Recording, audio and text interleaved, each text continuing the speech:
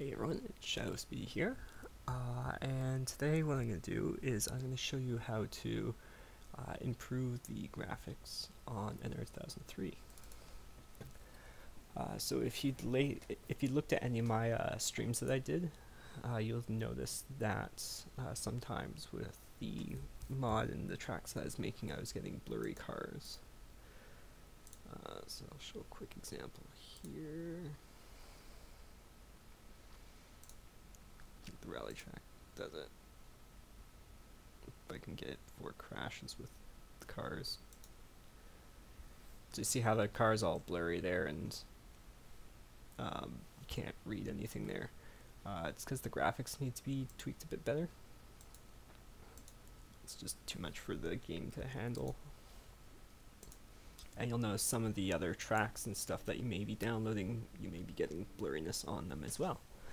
Uh, so this will hopefully fix the issue that you have with that.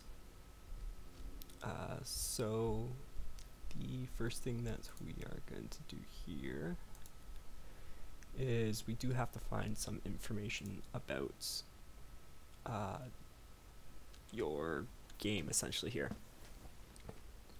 Uh, so first thing that we're going to be looking for is um, is going to be some numbers. So first thing we're gonna have to find is the dedicated video memory, which is pretty much how much space is in your graphics card. Uh, so the way you can go and do this is if you go your desktop and just right click on your desktop and go screen resolution, you click on advanced settings, it will give you your dedicated video memory.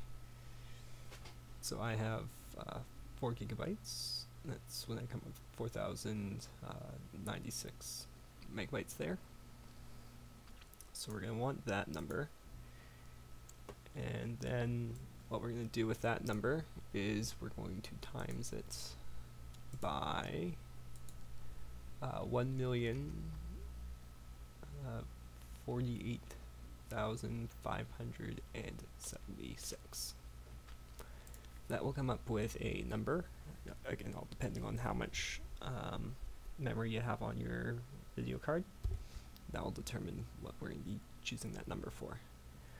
The next number that we're going to be getting here uh, has to do with the display that we have when running NR 2003. So to get these numbers here, we are going to go back into our NR 2003 folder.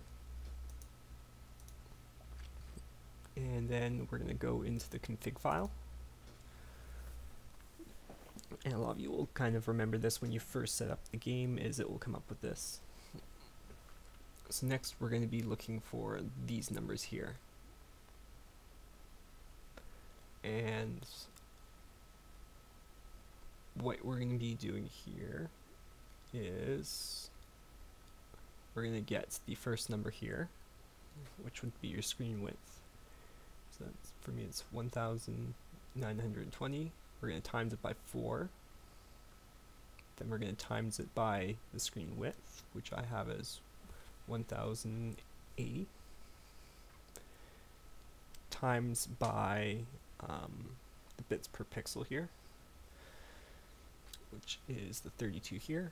And for the bits per pixel, uh, what you're going to select here is you're going to select 2 if it says 16, and you're going to select 4 if it's 32.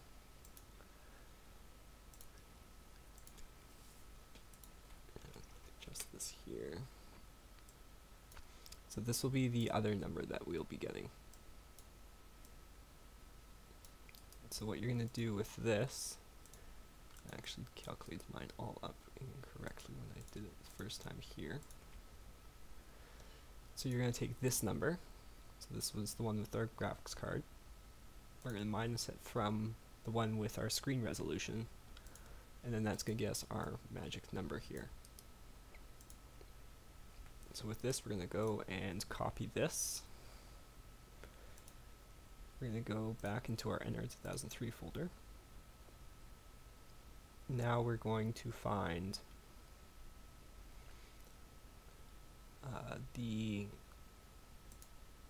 render.dg or dxg. We're going to open that up. We're going to change the uh, uh, anisotropic level here to three nines. And then the texture pixel size is going to be the new number we came up with there. So then you put that in there. And then we're going to go and save that. Uh, the other thing as well that you're going to want to do is the core file here. What I do is I stick an extra one into the cache size as well. Uh, that should help out as well. And then in theory here, if we open up the game,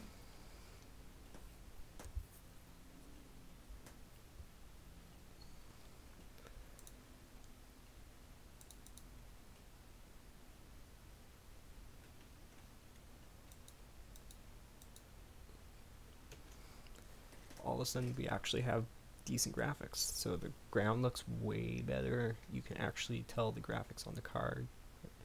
Pit sign, everything looks way better. And then that is essentially how you can go and get way better graphics um, for for your game here. Uh, if you have any questions, comments, or concerns, or anything like that, don't hesitate to uh, you know put up a comment here. I can go and answer any questions. If you found this helpful at all, uh, please do subscribe. It would definitely help out a lot. Uh, do content like this all the time to help improve NR 2003. So if you're looking for even more videos, you should totally check out uh, a couple more of my videos here. Uh, I've actually got a whole playlist full of stuff um, on just how to get the game, how to get mods. You probably know everything about um, NR 2003 at this point if you're doing this because you've probably gotten mods. So you probably don't necessarily need those. Uh, but if you're looking to create your own tracks, I've also got tutorials on how to do that. Um, there'll probably be some videos up on the screen right now that you can totally click on if you'd like, as well as there's a subscribe button if you'd like to subscribe as well. I'd like to thank everyone so much for watching and actually getting to this point in the video, and hopefully I'll see you guys in the next video. Bye.